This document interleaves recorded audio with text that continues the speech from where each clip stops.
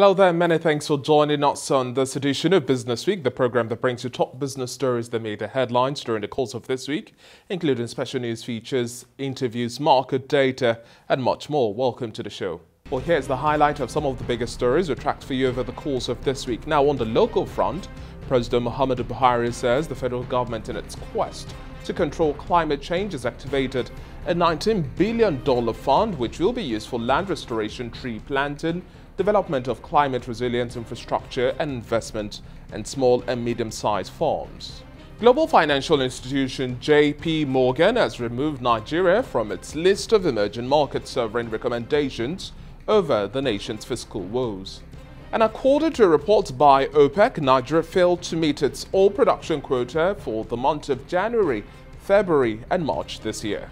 And now shifting focus to the international front, Bitcoin fell to its lowest level since January on Monday as slumping equity markets continue to hurt cryptocurrencies which are currently trading in line with so-called riskier assets like tech stocks. And in the auto space now, Tesla sent out a shipment of 4,767 cars from its Shanghai plant earlier within the week for Slovenia, the first batch of exports since the factory reopened on April the 19th and another 4,100 on Friday. Now, nominations for Russian gas transit via Ukraine at the Sokhranovka entry point midweek fell to zero. That's according to data from Ukraine's gas pipeline operator, following Kiev's warning of shutting down supplies through the route. Well, it's now time to bring you packages prepared by our correspondents. Despite the volatile operating environment and moderated capital flows, as reflected in the subdued capital market activities. Central Securities Clearing System PLC, Nigeria's leading central security depository firm, recorded an impressive revenue growth of 39.2% in 2021. According to the company's annual report and financial statements for the past year, CSCS revenue grew from core operations and ancillary services to 6.4 billion naira from 4.6 billion naira recorded in 2020, registering almost quadruple earnings from ancillary services from 526 million naira in 2020 financial year to 2.2 billion naira in 2021 financial year, with a 3.7 billion naira dividend paid to its stakeholders. Commenting on this outstanding performance at the 28th annual general meeting of the company, the chairman of CSCS, Mr. Oscar Onyema, attributed the stellar results to the adoption of technology and diversification of its services. We've done a lot of work in terms of our document uh, digitization business and document retention business. And that business is growing rapidly. And so that is reflected in the numbers uh, that you see. We're still uh, hoping to bring a lot more innovation uh, in the coming years as part of our strategic intent. Speaking on the outlook of the business, the Chief Executive Officer of CSCS PLC, Mr. Haruna Jalo-Waziri, has this to say. Based on our strategy, we're going to focus on customer service, build on the core, making it more efficient, and we have to keep looking at the bottom line. And we're going to expand massively in terms of our new products and services to, you know, uh, create a sustainable revenue for the company.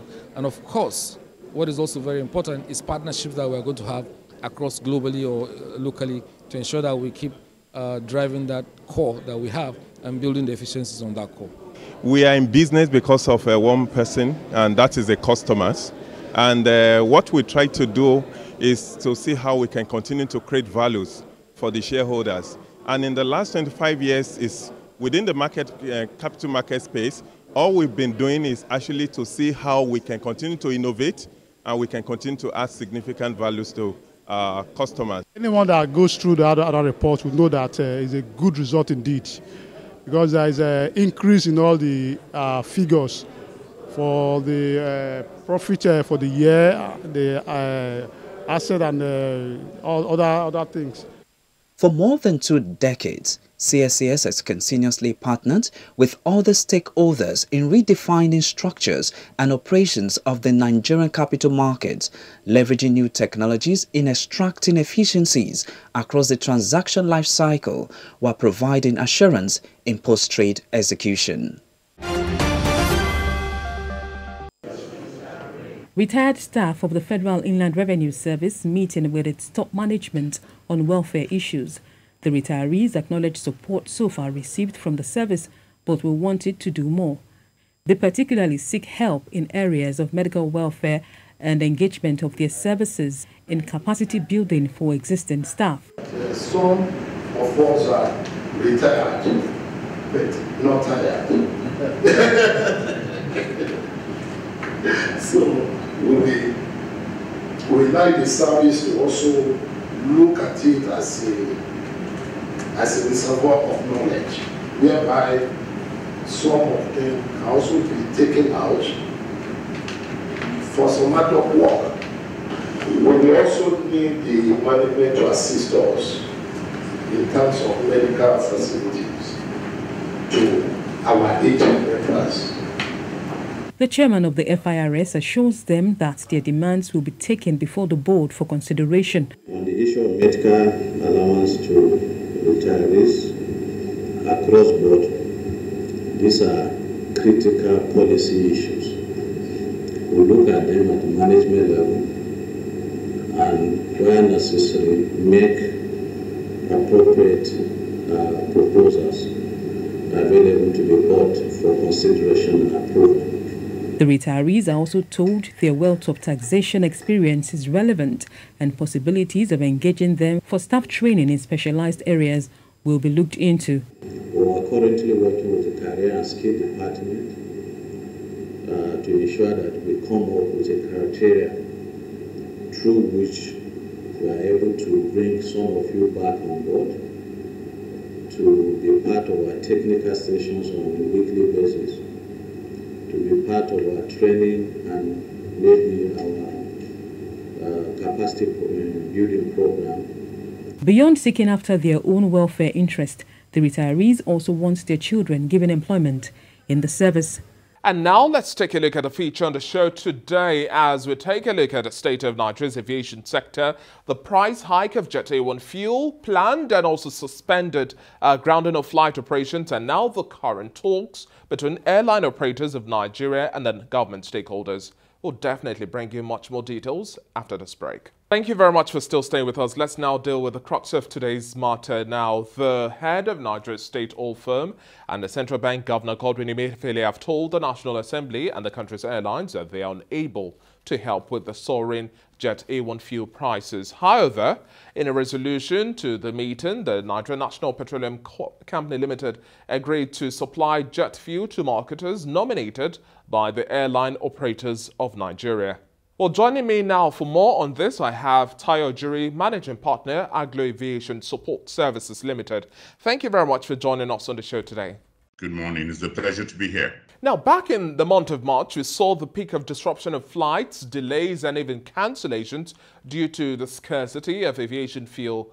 And now, at the start of this week, we had airlines talking tough in terms of grounding operations to a halt then later on, we also heard the announcement of a suspension of this plan. The contentious issue here is the 700 naira price peg of Jet A1 fuel. This reality for airlines is a push to the wall and breaking beyond the pressure points. What are your thoughts on this latest uh, development and talks that led to the suspension of the grounding of uh, operations?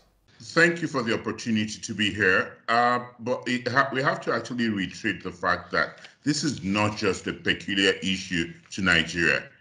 As we speak, we have shortage of aviation fuel in South Africa. There's a global hike price, a hike in price for aviation, uh, Jet A1 aviation fuel across the world, globally. We've actually seen in the US at the moment, it's not been, this is the first time in 14 years, it's going to uh, uh, uh, about so much, the highest peak in 14 years. So it's not something particular to Nigeria. But what makes Nigerian uh, uh, situation very peculiar is the fact that it actually had that extra astronomical uh, increase, like you rightly said, from 190 naira to 700 naira. But this is actually a very clear due to the fact that the marketers have to source foreign exchange to go and buy the uh, Jet A1, and then with that they have to come and sell it back. and they're open to the volatility in the pricing and purchase of Jet A um, Forex. So by it's at the price they buy, based logistics and every cost, they actually layer that on. And by the time it actually gets to the airline, the cost is actually high. So the fact is, it's going to be the same, and there's no solution to it, unfortunately. It's going to see the price hike. However, what can be done is actually having this hedge, hedging the uh, fixed price over a certain time with the marketers, being able to actually come together for the airlines being able to come together, see what how many times they are flying, the volume of their uh, of the operations, their flight operations, and actually pick few marketers and hedge the price. It might not, it will be definitely be lower than five seven hundred, but that gives them a, a guaranteed price over a time frame, and that helps their operation and stabilize their uh, financials. And now, aviation fuel really covers about 30 to 40 percent of operational costs for domestic and foreign airlines. And according to some reports here in the country, this is also risen to about 50 to 60 percent. The trouble here is that there's no magic one that can be waved uh, to crash the price of Jet A1 fuel. But to what extent now do you think our government can intervene to sustainably bring down this price range here in the country? Uh, you've just answered the question, David, and it's the what would actually impact the price significantly is the cost of export going to buy because the cost of importing. Again, if it was being produced as uh, refined hair, would the price would not be as high because there would not be some other ancillary charges that we're actually facing now. So it's not up to government. Well, government should provide an enabling environment for the refineries or those that are interested in the refining of Jet A1 business to set up that capacity within Nigeria, within West Africa. So, especially within Nigeria, because we have the volume here, and with that, we're able to actually uh, reduce the price. Having said that, uh, we we've fast forward what has happened in the last few days. We've seen NNPC guarantee uh, uh, guarantee the price at 480 to airlines to pick whatever uh, uh, whatever marketers they want to uh, partner with. But this sincerely is not sustainable. It's it actually has every smell of subsidy. And how much of this can government subsidize? Government, in my opinion, should be focused on healthcare, infrastructure, security, and education. And then aviation and all these opportunity, uh, others, uh, other businesses should be able to wiggle through the business, uh, the commercial uh, vagrancies of, of businesses. And with this commercial uh, uh, partnership, what should happen is they actually have to grow their corporate governance. They actually have to grow technical partnerships and actually grow the uh, companies so that they actually have foreign technical or foreign uh, investment input into their companies, which makes them stronger and able to withstand this uh, winter and caprices in the uh, in this uh, economic shock.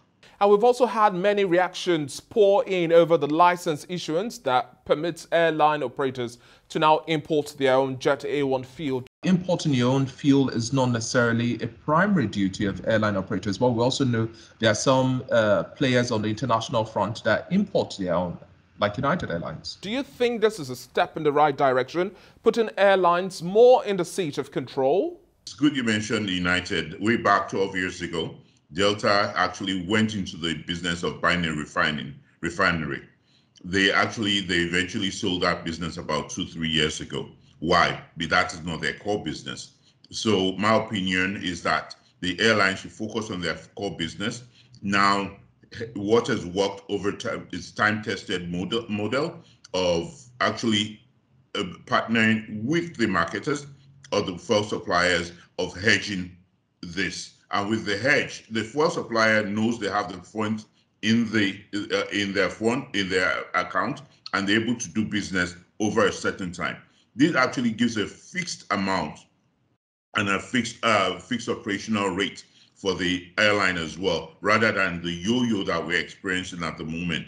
So it's better that the airlines face their core business of flying rather than uh, going into uh, importing and refining of fuel because in my opinion that is actually they, that's not going to last and i do not think with the numbers and all the indicators the nigerian airlines do not have the capacity to actually continue going into the refining business we're still struggling with uh, paying a lot of the leases and uh, all, all the foreign exchange uh, part of the uh, airline operation. Now, add now layer that and add the uh, the importation and refining of fuel into that. That's actually going to make lots of airlines go under.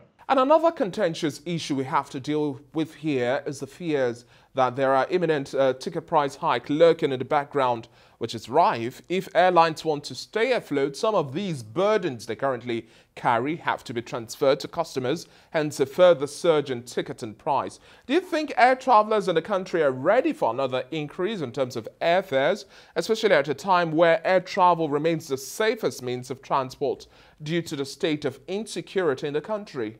Yes, I do. It's not a sentiment, David. It's actually the reality. And the reality is, when there was that increase, which you did mention, from 30 to 50 base fare of uh, 50,000 naira, the, the passenger numbers dropped. It's talking about data. Data talks says that it, uh, numbers don't lie, like they say. So we've seen numbers dropped. And now what picked up again was right after that, we had the issue with the Kaduna, the rail between Abuja and Kaduna. And that insecurity, which you rightly mentioned, made people come back to uh, flying again. But the fact is, aviation is a function of disposable income.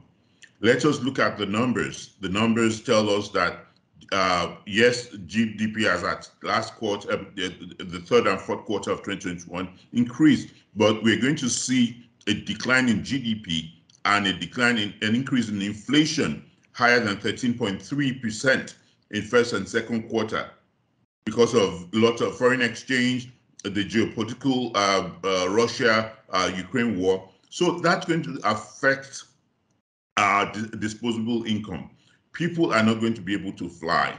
So what they, they're going to do, rather than even trying to fly at all, they look for other options. There's the virtual uh, platforms. There the uh, you can actually send whatever you need to send, and they actually actually adapt.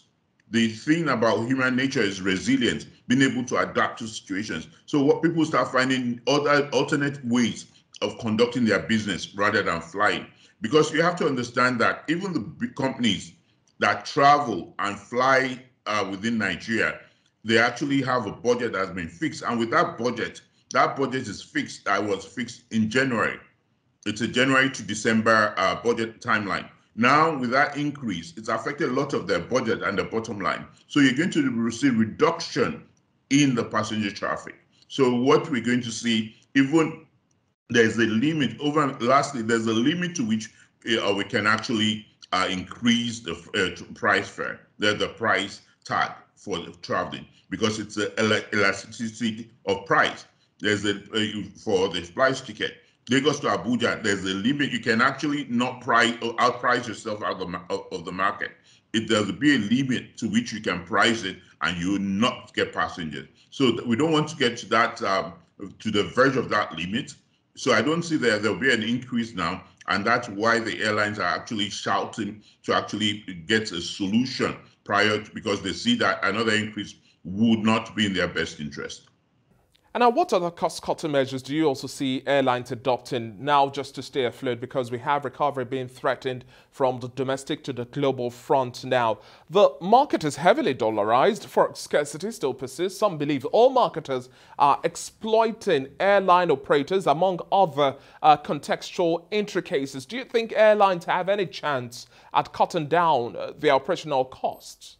Uh, for us in aviation, safety is paramount, and I don't think that's actually what uh, takes a big chunk of our operational cost, which is your maintenance, which is dollarized, which you rightly highlighted, asserted. Uh, so what we need to do is, it's uh, again, we've seen this happen over and over again. It's called a cycle, and we've seen this cycle. It's not just Nigeria. What we what would help the uh, domestic airlines be able to sustain and withstand and uh, outgrow this system, this challenge, is the fact that one, the corporate governance has to change, the ownership structure has to actually be uh, uh, uh, amended because you find out most of our airlines are owned by they're personally owned by families or by one person.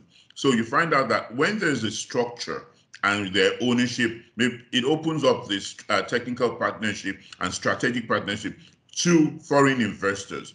And with that opportunity, even if it's at a lower 40% to 60%, 60% be Nigerian because there's a uh, there's a regulation to keep the uh, your uh, your ownership as a Nigerian airline. You have to have majority shares. With that, you're actually able to that partnership opens you to actually in foreign inflow, which actually balances your uh, your expenditure and opens you to other investments, which will be able to soothe this kind of um, storms, these headwinds, and um, would able to help uh, domestic airlines survive. Because the truth is, it's the reality of aviation, and we have to face it.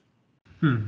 Okay, now, so do you think there are any shocks that are lurking in the background, especially uh, as we are having some resolutions being reached now? Do you think there's any twist of fate that will throw the aviation sector off balance, irrespective of the little progress we have here in terms of talks between government stakeholders and then the airline operators? Um, they fixed it at, like you said, they fixed the price at 480 for three months. So uh, at 480 for three months, three months goes by so fast, David. So what we need to see is at 480 for three months, will they survive? It's going to push us into summer, into summer, and we have lots of movement. So yes, they'll survive. Thereafter, are they able to actually survive and uh, actually uh, sustain whatever the price will be after three months? That's the challenge. So yes, there's a there's a buffer at this time, but the fact is, what would happen thereafter?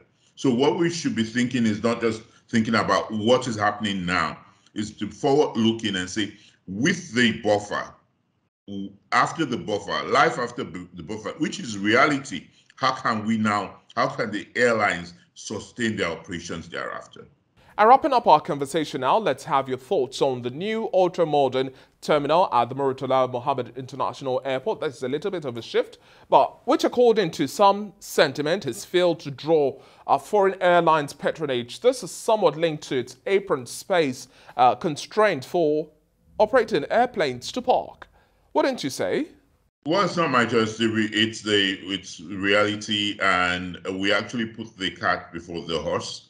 Unfortunately, we didn't plan that properly, and we're now living with it, whereby uh, we we have to ex expand the apron and the other side for. It's not you're saying foreign airlines because of the type and the fleet of the aircraft that they use. That aircraft is not able to maneuver and have enough uh, maneuvering space on the ramp to use the new terminal. So that's a challenge. And so they are stuck with using the old terminal, which has a lot of uh, challenges like the uh, air conditioning system, the baggage handling system, uh, the uh, passenger facilita facilitation challenges. So what should happen is uh, the good thing is they've started using it despite the challenges and you having uh, Air Peace operate out of there and been trying to move uh, the uh, West African Airlines AWA there because they have smaller aircraft.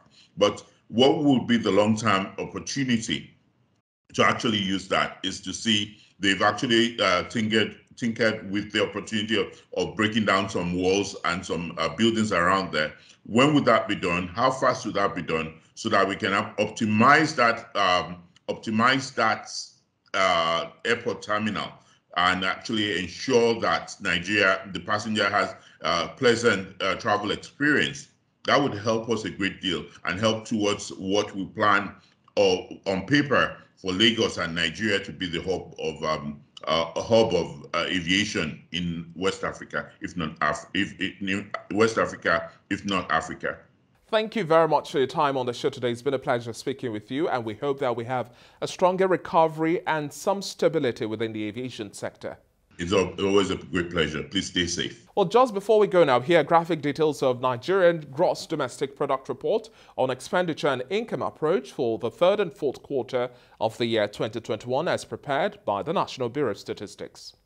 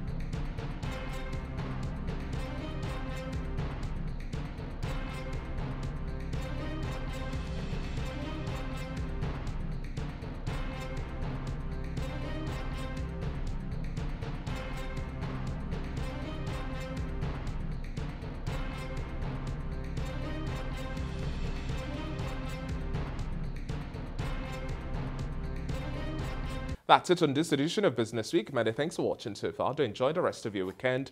I'm David Alabi. Bye for now.